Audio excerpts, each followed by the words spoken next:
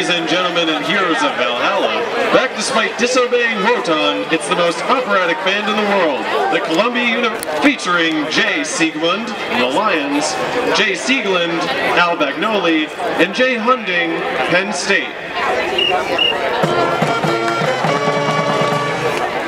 As well as the heroes going up to Valhalla, Valkyrie swooping down from the heavens, and Wagner at an all-time rolling over in his grave, the band now presents an all-star gala halftime salute to Ride of the Valkyries.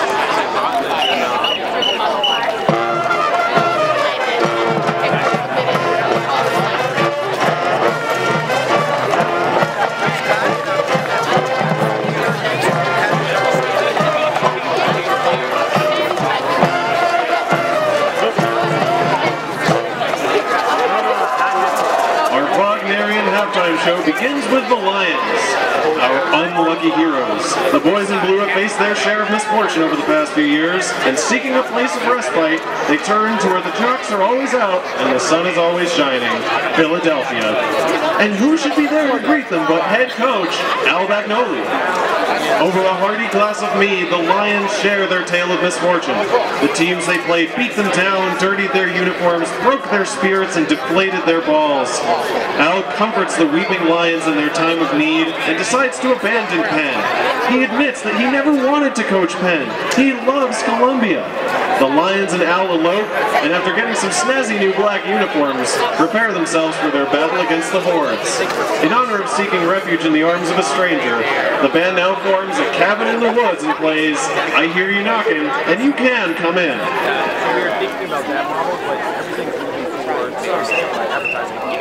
I, kind of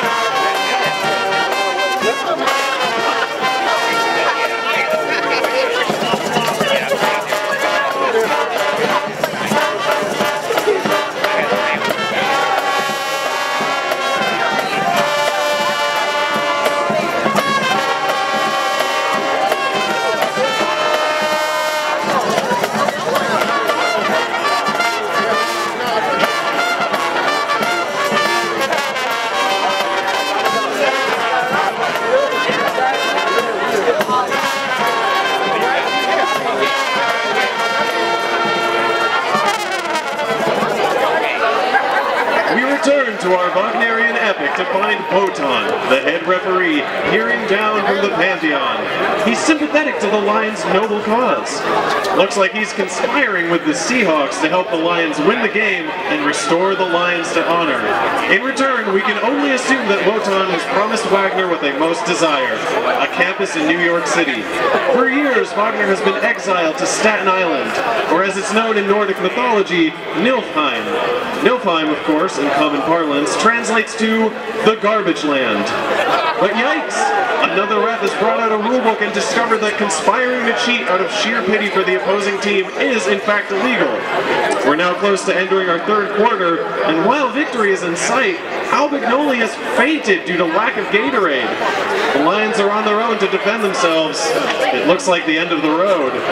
In honor of cliffhangers, the band now forms two opposing teams and plays Living on a Prayer. Some